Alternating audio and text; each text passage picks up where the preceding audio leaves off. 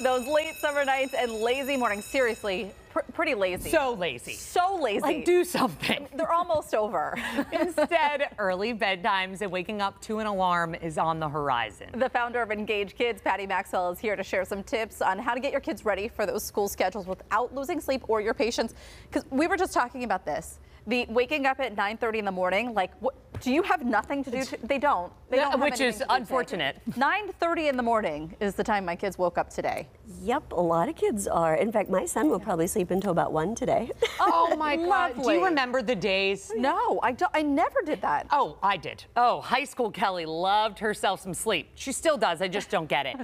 Uh, and I want to know why bedtime has become so anxiety ridden. Because this used to be a very easy thing. They used to be, you know, pooped out. And now the unlimited energy is ramping up. Is it just the summer? Summertime, and then we don't have much energy left either, right? Like by the end of the day, yeah, we're we're, like- spent. And so we start to get a little fussy. They get more fussy. They get crazier. Right. We get crazy. Everything ends up exploding. I will say, yeah, there there is a little bit of like laxness when it comes to getting to bed on time.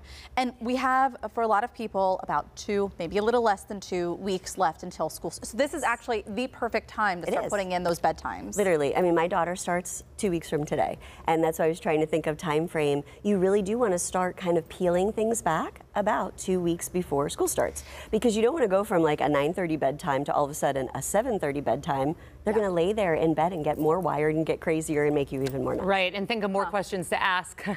Yes. Uh, I will say, I.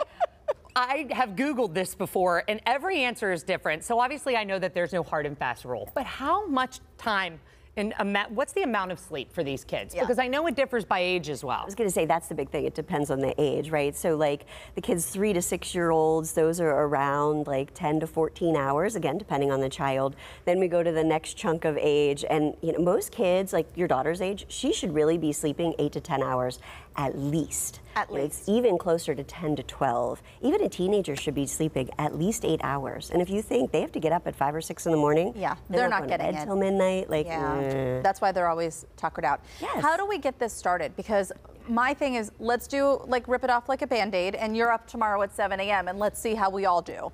Um, Like, but- yeah, because you hate yourself, obviously.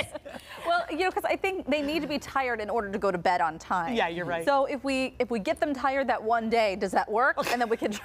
You could certainly wing it and see what happens. I think maybe in some households it could, but that's not necessarily what we would suggest. Okay, good. All right, um, cool. Probably best practice would be about 10 to 15 minutes for two to three nights in a row and then keep going from there. So if you're used to 9:30, now we're going to do 9:15. Do that for two or three days and then it goes to 9 and then it goes to 8:45 Right. and then till you are eventually at the time frame that you want it to be at because just that little bit of time will help you on both ends. And that's the other piece is you have to also you can't let them sleep in until 9:30 anymore. We have to start peeling it back there in the morning as well and you know, cranky kids, they're going to be cranky. It's not going to be easy. We're going to be cranky as well, but it will save you that first morning of school instead of just rah, everyone waking Oh up. Oh my and God, and getting the first day of school pictures whenever they're up for the first time. I know. Oh my uh-uh, God. Mom, leave me alone. Exactly. Who are you? So, how can we make bedtime fun? Because I do know that I have, I, I feel like as the parent, especially a working parent, I just am trying to get this done as fast as possible, and I know that's not the way. It becomes like a last job of the day almost. Yeah. Yes, yes, and it really has, and that's where we're, you know, we're told we're supposed to be reading to our kids, we're supposed to be snuggling with our kids. It's kind of the last thing we really want to do with our kids. Yeah. But you know, think if if you're being put to bed and someone is yelling at you, "Get in bed! That's it, we're done." you know, is that going to be a nice way to fall asleep and then to wake up in the morning? No. So. Um, I know we've talked about these in the past, the spots of emotions, but this is a nice calm, quiet activity that you could try. Doesn't have to necessarily be these, but this is the love spot, and I know the kids always love to be loved. So this is something where you can. There's like a little baby one, and then there's like the mommy or daddy one, and you can hide these. And make it kind of a game. So if you're going in to brush your teeth, okay, first we have to brush your teeth, then we can find the spot.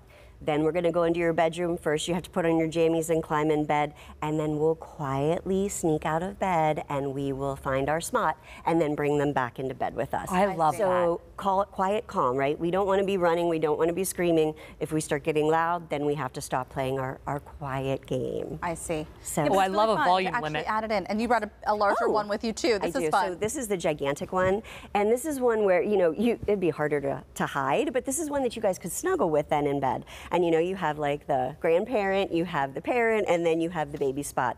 And I know it sounds silly, but these work too for the older kids as well, right? Because you know your middle schoolers they are very anxious about going back to school. Same with the high schoolers.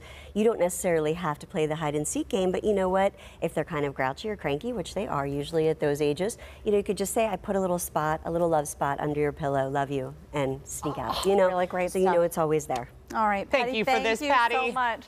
And if you need some help, uh, parent is some parenting help, Engage Kidz offers some in-home and school services as well. We're going to have more information on our website at kdka.com/talkpittsburgh. And